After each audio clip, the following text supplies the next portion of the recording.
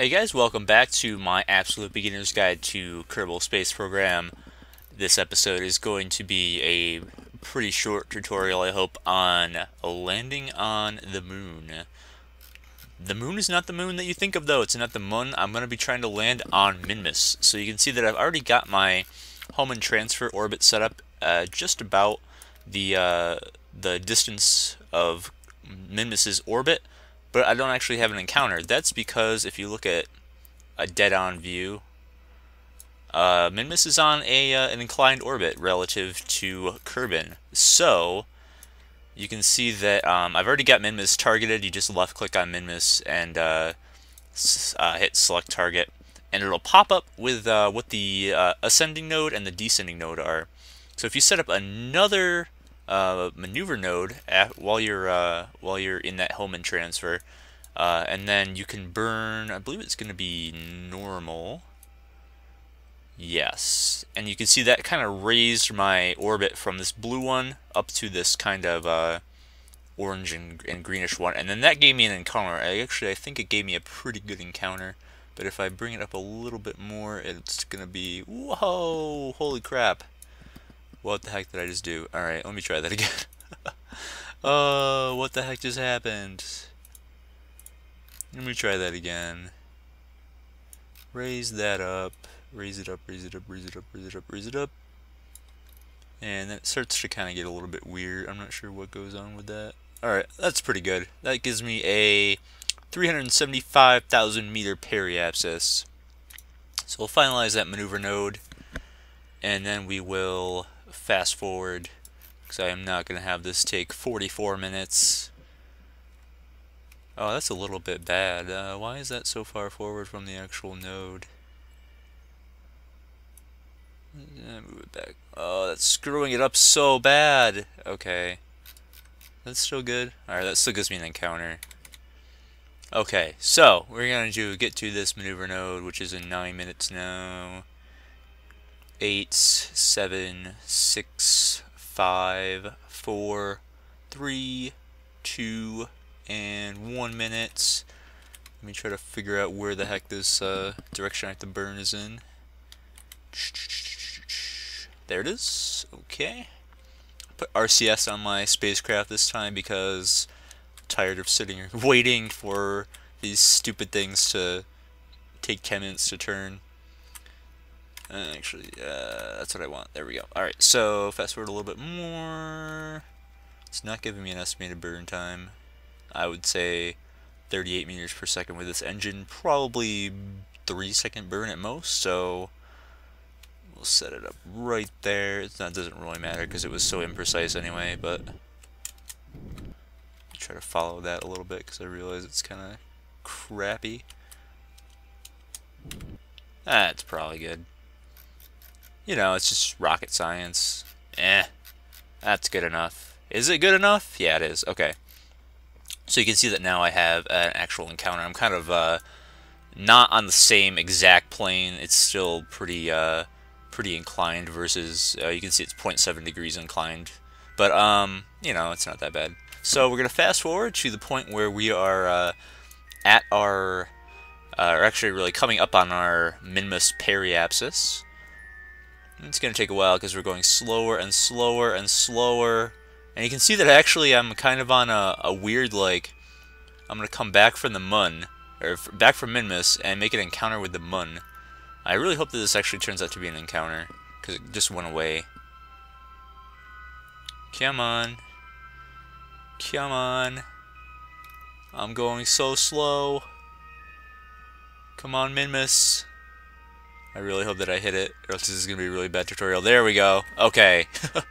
I was kind of doubting it there for a second. So with the periapsis, we're going to do a retrograde burn to kind of um, bring it back into an elliptical, or rather a circular orbit. You can see we're in a kind of weird orbit because of the inclination difference, but it doesn't really matter you know what plane you're orbiting around. Um, you could probably save some delta V by actually being a little bit more precise, but it doesn't really matter. So that's roughly circular, 277, 341 fast forward to that burn, which is really far away. Where's Minmus here? Let's see. While we're waiting, let's try to find Minmus. What plane would it even be in? I'm not even sure. It should be this way. Maybe. I don't know. Minmus, where are you at, son? Oh, there it is. Alright. It's just that huge rock in the sky. Uh, let's accelerate a little bit faster. We're going so slow because we had to kill so much velocity. Or we killed so much velocity uh, by being near the peri or the apoapsis.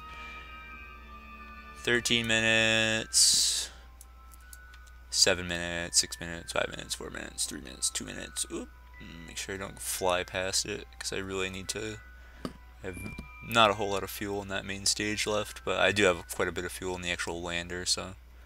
Alright, that's good enough. Actually, I probably should have found the... Probably should have found the maneuver node heading first. Uh, where is it? Uh, which direction am I going? Yeah, it's going to be up this way because it's retrograde. There we go. Okay. Sometimes if you have no idea where it is, you can kind of tell which way, which direction you're moving, and then point that opposite direction or the same direction if you if you know you're going retrograde or prograde. So we're going to do a retrograde burn.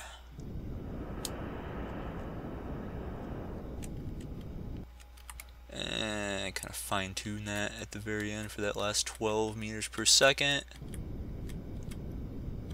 That's to be good enough. Again, it's just rocket science, rounding errors, and so on. You can see I already tried to do a, a test run there. Okay, so we are in a fairly uh, far orbit from Minmus. So uh, what I'm to do is let's uh, let's go to periapsis and we'll do a retrograde burn there to kind of lower it. I probably should have done this before, but whatever. Uh, so I think 50,000 meters is roughly good. And then we'll set up, whoops, we'll set up another burn at that point to circularize it all the way. That's about good. That's kind of cool. You're kind of you can see you're going to be like or uh, going down this way and kind of spiraling in. So another five hours out. These burns are taking so long because Minmus has like no gravity, so you, your orbital speed is so slow very long orbital periods. Alright, four hours, three hours, two hours, one hour, slow down. I really, really, really don't want to like fly past it. I mean, it's pretty circular orbit, so it doesn't really matter too much if you're at the periapsis versus the apoapsis, but Ah, there we go. Alright. Shoop de whoop. Alright, so now we're just circularizing.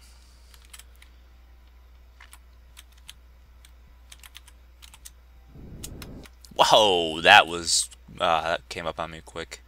I, I, I wasn't even paying attention to how low the delta V that I needed was. Alright, so that does that. Let's fast forward some more. See how utterly slow I am going. Okay.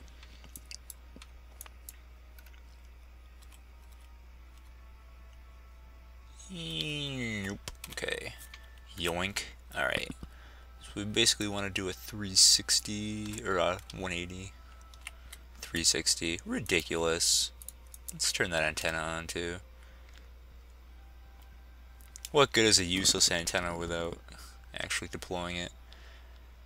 Jeb has to be able to, to radio back that he's completed all of his burns successfully, right? Okay, so, lock on there. We'll just use the inertial controls. Alright, I might not have enough fuel left to do this burn. How much fuel do I have? I barely have any fuel, but I think I should have enough because it's only going to be like a half second burn. And we're coming up on it. Let me just kind of fine tune that and burn. That's pretty good. Alright. Now we're at the points. Basically where we left off in our last video, which is that we are in a circular orbit around the body that we want to land on. So, uh, Minmus is a little bit of a, um, an odd case because it's so, uh, it's, it's so rough, it's not very, it's not as spherical as the moon, but you can see that it does have these kind of uh, uh, solid seabeds or you know lake dry lake beds or whatever you would call them. Um, this I'm, I'm gonna be wanting to try to land on the on the light side because it's kind of hard to land when it's dark, obviously. So, um, what I'm gonna try to do is put a maneuver node a little bit forward, and I'm gonna want to try to adjust my orbit so it's kind of gonna be directly over a place where I would want to land. So if I just do that, you can see that I'm kind of it's gonna be directly over this little portion. So I mean, you don't have to be too fine, but you don't want to be landing on this rocky part or else it's kind of going to screw you up. So we're gonna just gonna execute that burn and it's uh, going to be about 112 meters per second delta V which isn't too bad. And that'll get us basically uh, on the right course to land where we want to land. And the next step will be to actually set up our uh, our uh, entry trajectory I guess you would call it. So let's fast forward a little bit. Jeb, I don't think at any point in this flight has been terrified, even even the part that I didn't record, so I think this has been a success so far. And we're gonna do the burn. Oh, and I ran out of fuel. Okay. So let's stage that. And do that.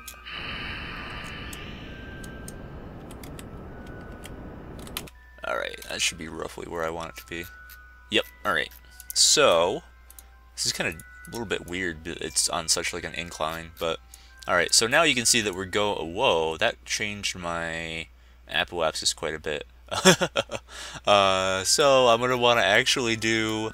Let's do that right now. Let's do a, uh, a retrograde burn right now. Kind of lower that down. So that'll be the next step anyway. Even if it stayed circular, which it's not really going to do, uh, if you're even if you're just doing like a pure um, retrograde burn, um, your next step you're going to want to do is lower your um, either periapsis or apoapsis. Doesn't matter too much, but uh, here I'm just going to, since I'm at periapsis already, I'm just going to lower my uh, apoapsis down. And you want to lower it until you're on a until you're just about um, kind of skimming a point forward in your orbit of where you're going to want to land. But you don't want the like the termination point of your orbit, which is you know right here where it hits the planet. You don't want that to be right on where you're going to want to land, or else you're going to hit the surface um, going with with quite a bit of horizontal velocity. So if we only get to say right here, which is right above where we want to go, and we do like a retrograde burn, which you can see here, and kill out all of our velocity, if I can kind of zoom in on it a little bit, you can see that we're going to be um, heading down right onto where we want to go. So that's about the point where I'm not going to actually use that um, maneuver node. That was just kind of to show you an example of where we want to land, but we'll use the actual uh, the location of the maneuver node in the orbit as kind of a guiding point to where we want to start slowing down. And I think this is where a lot of people kind of get hung up is that you'll you're you're crashing into the surface instead of lightly landing into the surface. So I'm gonna kind of hopefully show you a few tips on uh, how to uh, not crash. so let's slow down a little bit here. Oh, lag. Okay. Uh, so we're going to want to go around in the nav ball and find out where uh, retrograde is. And it doesn't so much matter where that blue marker is. All we really care about is this green time down here, which is that we were going to want to burn in about 30 seconds. So we're just lock on to that um, retrograde uh, vector, and let's deploy our landing gear too that can be pretty helpful when you're trying to land. So we have plenty of fuel here. We can waste a ton of time trying to land with this much fuel. And I, I basically, to get here, I used the same, a, a version of the same, uh, the same land, the same uh, launch vehicle that I used to get to the moon, except that it was uh, uh, just less fuel tanks on the boosters and the in the central stage. So if you want to see how to build that, um, it's actually going to be in my asparagus staging tutorial, and then you can see it being launched in my uh, Get to the Moon tutorial. So I'm going to wait a little bit longer, even though we're mm, like 9 seconds past the maneuver node. I just want to be able to look straight down and be able to see this like lake bed or whatever it is, because that's the flattest part. You just basically want to be a, a more or less directly above a port where you want to land. So basically now we're just going to lock onto that retrograde vector and burn. And we want to burn away all of our orbital velocity. And right now I can be at 100% thrust, but as I get closer I'm going to want to kind of slow it down. And you're going to want to chase that retrograde vector on your uh, nav ball. So just uh, keep doing little adjustments until you're chasing after. You can see that once my orbital velocity got down to pretty much zero, it kind of went all over the place because at that point, um, your uh, what which way you're thrusting is kind of taking over where your uh, where your uh, velocity vector is. So you can see that now the retrograde vector is more or less pointed up directly into the sky, which means that most of our velocity now is actually vertical. You can see it's not quite center. Center's right about where I've got that nav ball, but it's it's more or less center. So if we if we uh, can turn RCS off. if we thrust really slowly in like sort of the direction that the the uh, retrograde vector is uh, showing us, we can kill out some of that horizontal velocity as well. And at some point, um, once we get close to the surface, uh, that orbital velocity is going to change to surface velocity. So that's more or less directly on the the um, 90 degree zero heading, uh, 90 degree pitch zero heading spot on the nav ball. So that's pretty darn good. You can see that on our uh, orbital map, we're not really in a, let me delete that maneuver node, we're not really in a, in a parabolic orbit anymore. We're more or less just in a straight free fall. So this is this is this brings up the point of why I'm recommending that you try to land on Minmus before you try to land on the moon, and that's because Minmus has like no gravity.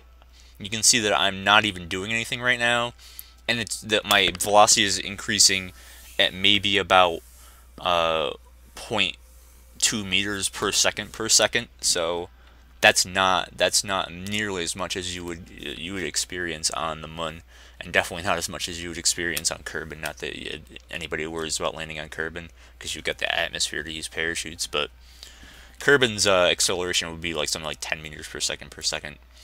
Let me actually uh, deploy my Telus mobility enhancer.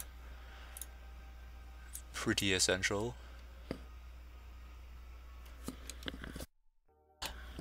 Oh, I kind of lagged out there. Alright. And you can see that now it's changed the surface velocity, and now we actually do have a velocity vector that's off-center because of the, uh, let me actually hit caps lock and I'll change to precise controls. That's a that's another good point is that you use caps lock and it will um, let you make really precise controls without going all over the place. So I'm going to cancel out all the surface velocity right now. I'm about a thousand meters above the surface. That's another uh, point of landing on these sort of lake beds, or whatever you want to call them. Let me cut the engine. Uh, is that they are minima sea level. So whatever your uh, altimeter up here says is more or less how high you are up off the surface. Whereas if you're landing on these mountains, uh, it's going to show that your altitude is, let's say, a thousand meters when actually you're like two meters from the actual surface. Let me cancel out a little bit more velocity here, and you can see that that uh, that retrograde vector is more or less again right on the right on the uh, uh, zero degree zero degree point. So now we're just kind of slowly floating towards the surface every once in a while you're going to want to uh, kind of do a, a, little bit of a burn and slow down that speed to a manageable amount. It's going to take a little bit longer, but you really don't want the surface. I'm only about 200 meters above the surface. You don't well, you don't want that surface kind of creeping up on you, uh, or else you will you will crash. You want to keep it pretty low, and you want to land at probably about one meter per second, two one or two meters per second or less. So now we're only about 100 meters from the surface. We've got a little bit of horizontal velocity that I kind of want to kill out right now. And you can even do this if you're good. Uh, if you if you get good enough with the whoops, here we go. You can see the shadow. Ah, there we go. That was kind of a bad. That was a bad landing because it kind of crept up on me while I was trying to cancel out my velocity. But you can uh, you can kind of bounce around a little bit on the surface of Minmus and still uh, not crash because the gravity is so low. You're only going to be going about you know three meters per second. It's not going to like it's not like uh, when you, if you don't pay attention, it's going to creep up like 10 meters per second at a time on you. It's only going to go up pretty slowly. So that's how I did it. Uh, basically, the, the the number one thing to do is pay attention to where that retrograde meter is, or where that retrograde icon is on your nav ball, and it'll just tell you which way you need to be burning to cancel out your velocity. Your, the main thing is that you want to have almost complete vertical velocity, so you're falling straight down, and all you have to do is just worry about what your descent uh, descent speed is. So now I'm on uh, Minmus, and you can even, uh, if, if you want to dare to land on these mountains and hills, it doesn't even so much matter if you land sideways and you kind of crash down, because there's so little gravity that your torque from your pod is going to be able to uh, cancel that out. So I can even, if I take off uh, precision controls down here by hitting caps lock again, I can just hit WSA and D and kind of tip this over just using that kind of weak torque force. And it's kind of of need to take some rocking to, to actually get all the way over, but you can see I'm just about tipping it. There we go. Oh, it's tipping, it's tipping, it's tipping. Uh, I don't think it's going to tip. I don't want to sit here trying to do it. But if I was over on my side, um, actually I can probably do this. There we go. Ah! Whoops. Alright. So if I did this and I landed this way, one meters per second, you can see there's so little gravity and your speed is so slow that I just, I fell right on that fragile little uh, antenna and it didn't do anything. And then if you're, if you happen to be this way, even if you're rolled over, you can roll you can uh, there's so little gravity and obviously there's no atmosphere. You can if you know which way you want to go you can even just use the torque to slowly raise it up like that and all you got to do is just make sure that you're pointing the nav ball towards the the top of the blue. And there you go. See you saw I could have just landed sideways and it wouldn't have even mattered. I could have tipped over on landing and it would have mattered. So there you have it. Uh, I probably have enough fuel to get back to uh, Kerbin right now, but that's basically just doing the reverse of how you got to the Mun, or how we got to Minmus too. So that's that's pretty self-explanatory on its own. My next video is going to be on rendezvous and docking, so stay tuned for that. My next uh, video for my historic NASA missions in KSP series is going to be Gemini 7 slash Gemini 6A, so stay tuned for that too. If you like this video, uh, feel free to hit like. If you uh, have any questions or comments, uh, feel free to comment. And if you want to see more of my videos, uh, hit subscribe. Thanks for watching and have some safe flights. Bye.